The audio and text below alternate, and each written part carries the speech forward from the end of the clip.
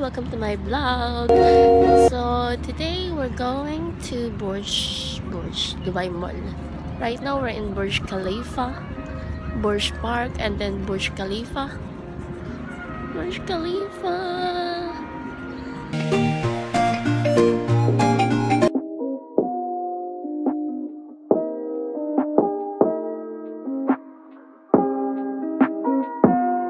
Two thousand years later.